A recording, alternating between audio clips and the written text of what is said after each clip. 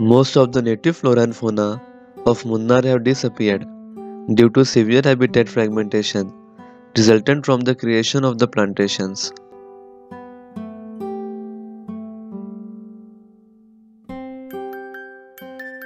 However, some species continue to survive and thrive in several protected areas nearby, including the new Kurinjimala Sanctuary to the east, the Chinnar Wildlife Sanctuary, Manjampatti Valley, and the Amravati Reserve Forest of Indira Gandhi Wildlife Sanctuary to the northeast, the Eravikulam National Park, and the Anamudi Shola National Park to the north, the Pampadum Shola National Park to the south, and the proposed Palani Hills National Park to the east.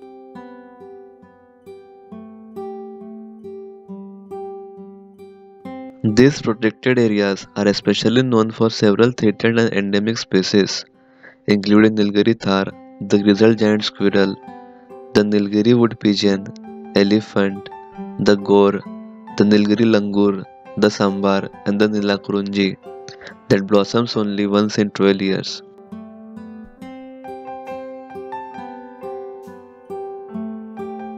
Kerala has a plethora of wildlife sanctuaries and is one of the best places in India to do some animal spotting. The elephant is one animal that is synonymous with Kerala, blessed with abundant natural beauty. The tourists also flock here to see the animal's life. And if the travelers are lucky, they could have the sight of elephant herds strolling on the grassland.